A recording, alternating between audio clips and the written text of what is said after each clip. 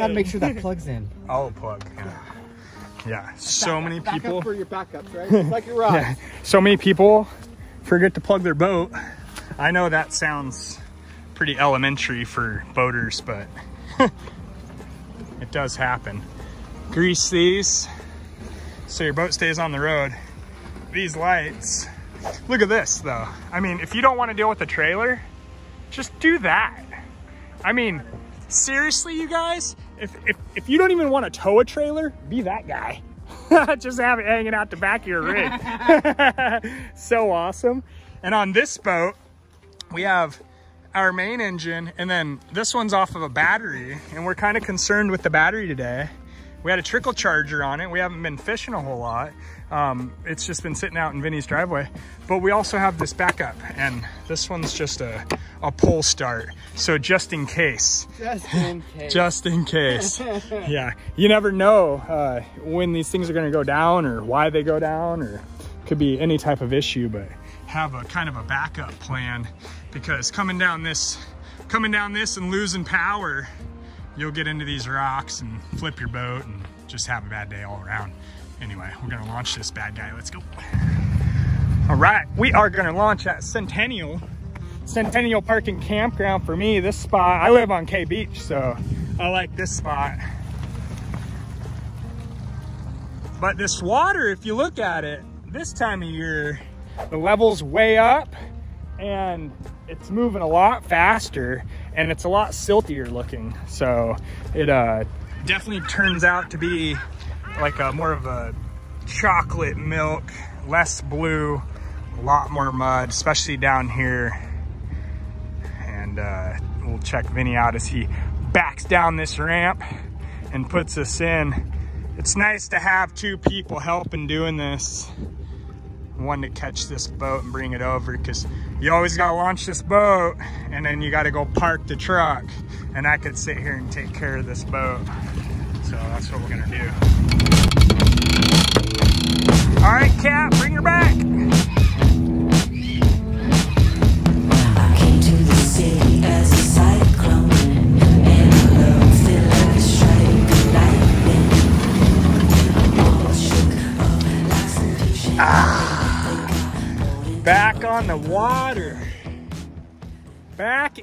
it.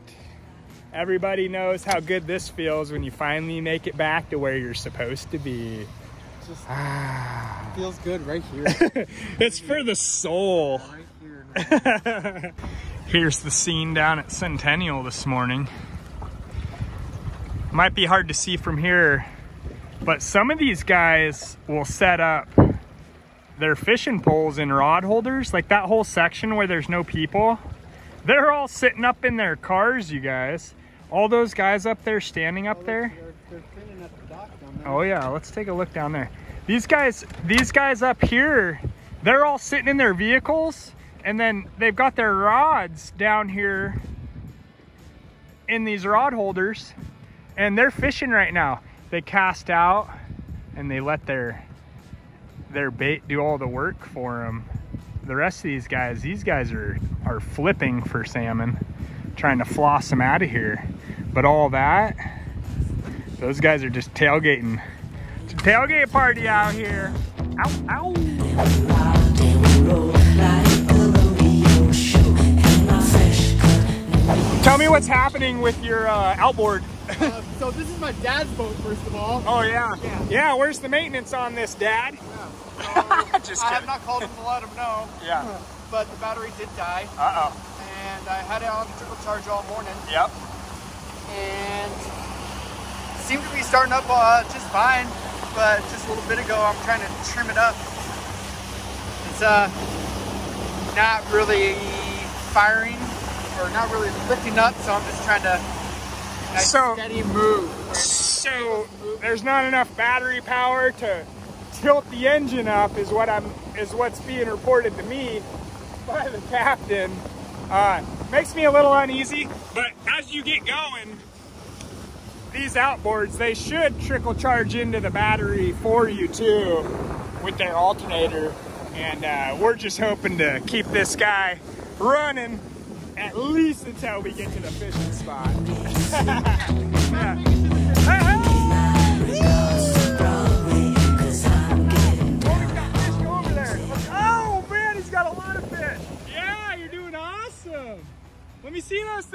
man. You ain't tired yet. Oh my goodness, that's a toad. Ow! Right there, guys. They're making it happen out here. Loving it. Woo! Isn't that cool? Isn't that cool? Seeing everybody having a good time.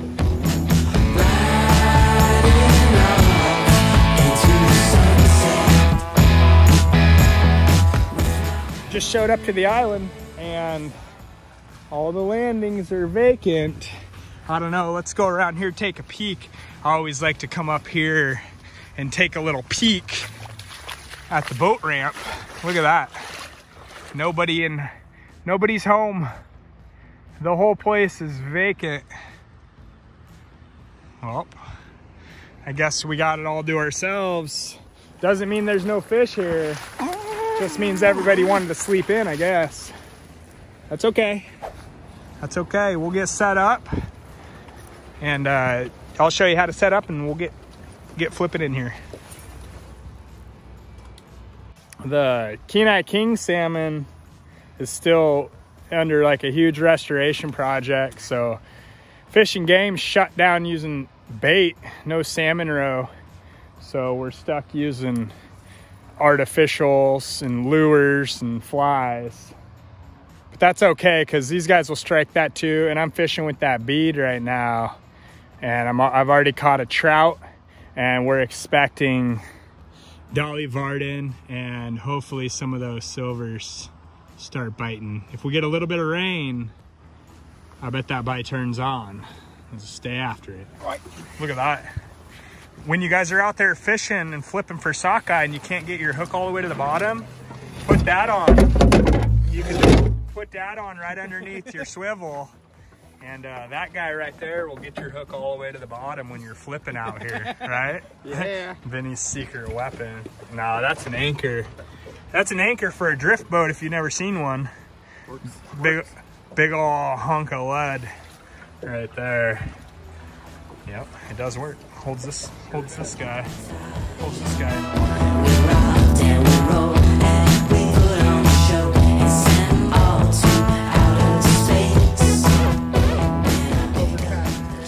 Here's a, here's a secret weapon right here for you.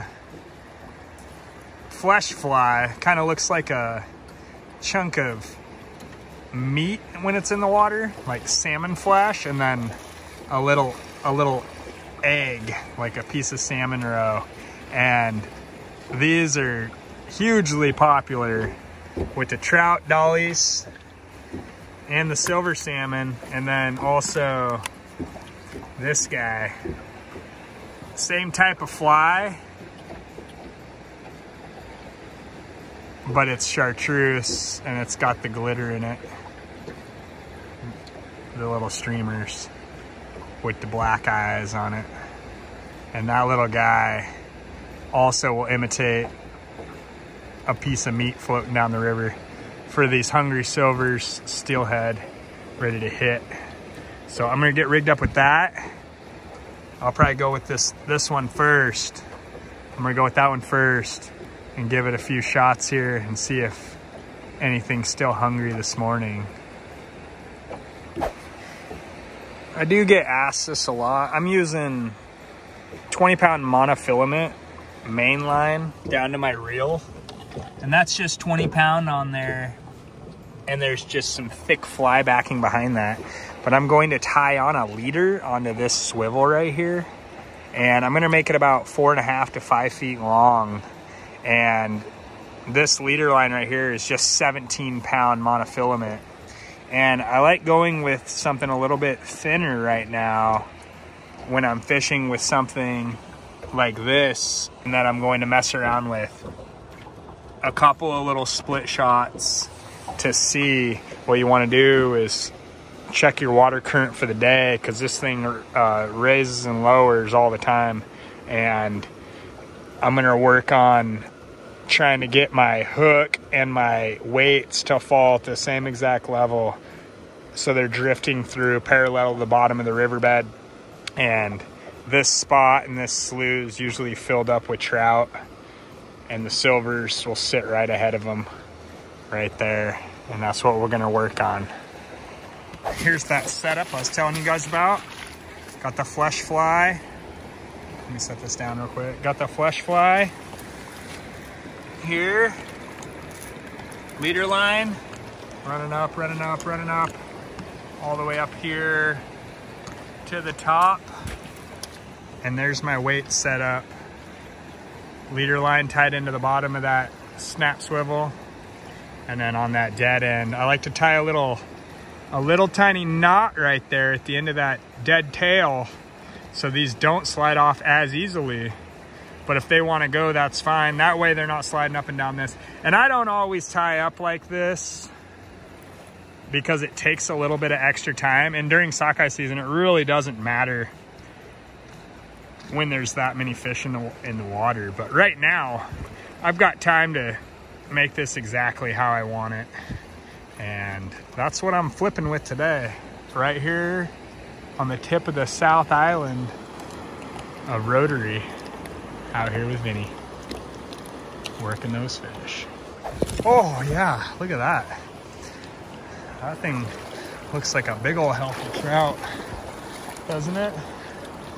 Look at that guy. I don't know. Maybe it's a kind of a wore out sockeye perhaps. I got my net man coming in. Vinny on the net. And we're gonna see what this looks like. Maybe first, I don't know, it's hard to tell. Give me kind of a weak fight, like a maybe a pink wore out sockeye. Let's take a look. What are we looking at? Oh man! Look at that. Nice stuff. Is that thing still chrome? Do you want to go in the smoker? My goodness. Look at that thing. All right, all right. There's there's a fish. You there's something called a like a fish feeder. Oh yeah, yeah, yeah. That's what we need. Need one of them. A detainer like that for one of these guys. Yeah, not too bad. Not too shab. Yeah. I haven't seen one in a while, so that's what they look like. right there. It's still chrome enough and got most of its scales that we'll uh, we'll put this guy right in the smoker. Look at that. All right. One in the box. Well, we are giving up on rotary. This spot's not producing a whole lot of fish today. Not right now while we're here. One thing you got to remember too is this is all influenced by the, the Cook Inlet, the ocean out there. And if there's no fish, you could, you this time of year anyway, you could just wait like six hours and that next push of fish will come in and you'll have a shot at getting some.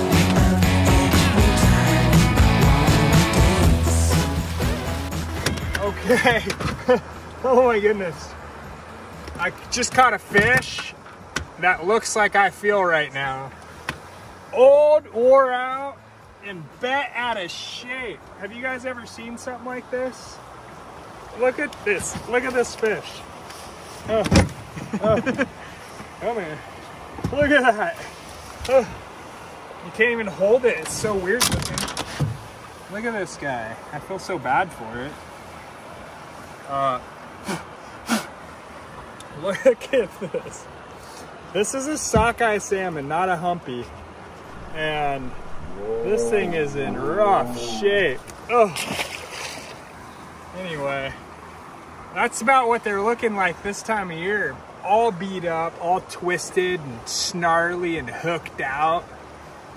And it's just the end of the summer, man. Alaskan summers are, are long and hard on a guy.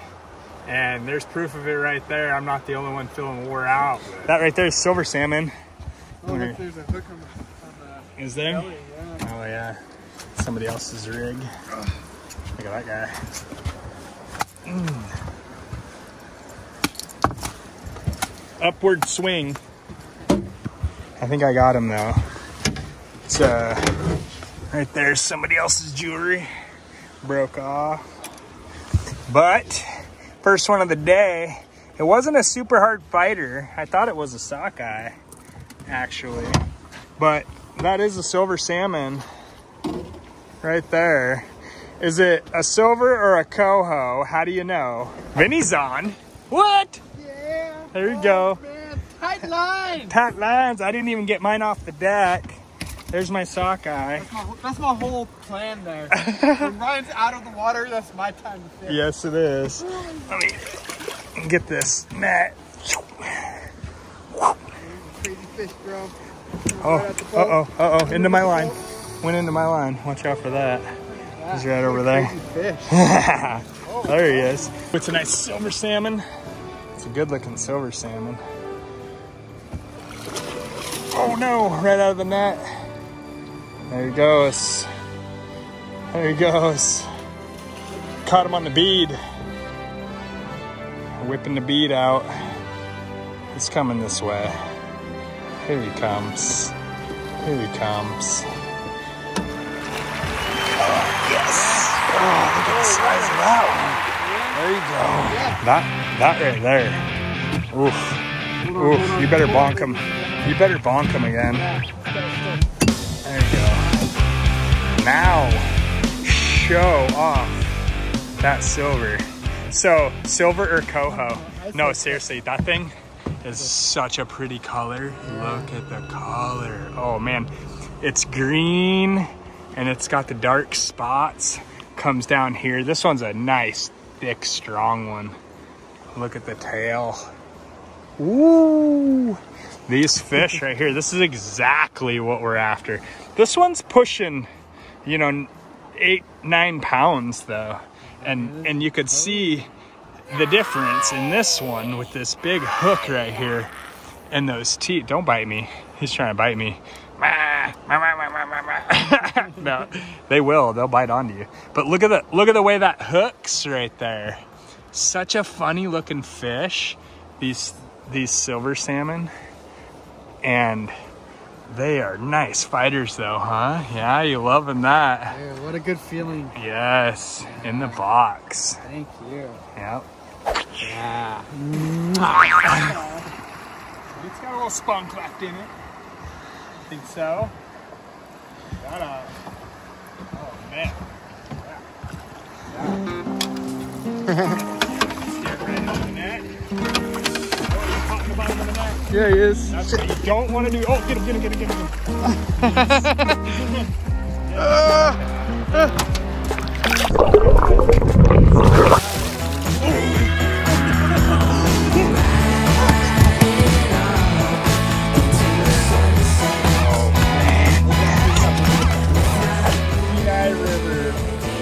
Silver salmon we are after. Look at the size of this. This thing's over 10 pounds, could be close to 11 or 12. And it was such a crazy fight. It, it slammed it and ran, but it did its first jump and it twisted itself up in my leader line. And then it was wrapped like four or five times. And then it just kind of like snared it as I was bringing it in. It was a super fast fight. It was like the guy didn't even have a chance after that happened. Whoa. But it was crazy. Right there came out the bottom of the mouth and blew out the other side of the eye. But look at the size of that. Such a thick tail. And this fish is exactly what we are looking for. Oh. Well, there you have it. Look at that. Sockeye salmon, late August. And these ones are pretty nice. These three that we took, um, we are taking three silvers here. Two big males and then the female. These two guys were chasing after her for sure. But they all ran into us. And this is what you get. But some of these guys got some nice big tails. Look at that. Look at the size of this one's tail though. It's like twice the thickness of a of a sockeye. Real dark and stubby. But this one right here is a is a real bruiser. Real bruiser of a fish. Back to the launch. Captain Vinny put us on him today. Yeah, that's good. We're gonna get this boat loaded up. Go clean our fish over here at this little station they got down here at Centennial. I mean, this This already is too much work for me carrying these fish. Whoa. Oh, yeah, I know. We gotta clean off all the seagull mess first. the baby table. Vinny's little table. I know, these ones are kind of tall, aren't they?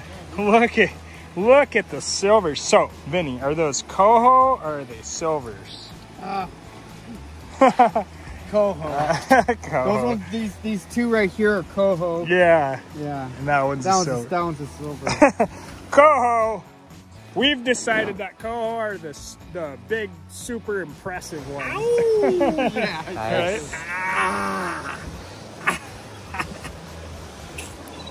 Yes. Yes. Scrub them down. Scrub a dob. Oh yeah. Look at that. Just pulls all that right off of it. So nice. Yeah, it just takes takes about a second, and then we got these down here, so this is cool. And we can do a little assist with the water. Look at that. Pop all those scales and slime off. So nice. Oh yeah. Yeah. Yeah. Yeah, scales and slime. And then let me see your brush. Everyone asks about these. That's a, just an old wire brush. And then it's got a composite handle. I like I like this style because the Because you can go like hand this. like that or Or like it. that. Yeah, it like hangs onto your hand for you. Yeah, I like doing That's what like I like. too. Yeah. So you could scrub them up like this. Just just takes about a second, and it's it's nice because when you get it home to the cutting board, you don't have hardly any of that that river left on it. That slime and the blood and the sea lice and the scales and everything else. Squeegee it off with the back of the blade. And then always, always just pop that belly off first. You can get that belly right out of your way. Look at look at how nice this this makes the belly, the bottom of the fillet. It's like just a nice straight. And then you get around all these fins and you can eat that too. If you want to eat that, put that in the smoker. That's totally a thing. Just get rid of that guy. Yeah, toss that guy to the seagulls. They'll eat that all day. And look at the bottom cut on this fillet. It's just it's just nice and clean now.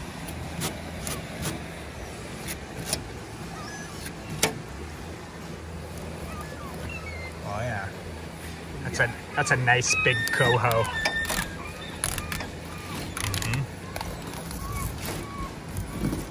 It's pretty good meat though. I mean, it's a little bit paler than a sockeye or a red. You know, they call them red because the meat's like red. I mean, look at the look at this. This is a this is a sockeye I just filleted, and we'll set it next to the silver so you can actually see see the difference. Oh wow. See how much redder the sockeye is mm-hmm. versus the silver. It's still nice and orange, but it's it's not dark red like that. And it's it's really not as firm as the sockeye either. But I mean, size-wise, it's almost double the size of this fish. So I'm like guarding these from all those guys. Look at them. They're like ah, yeah, they are. So we're just gonna fillet these up and get them in the brine.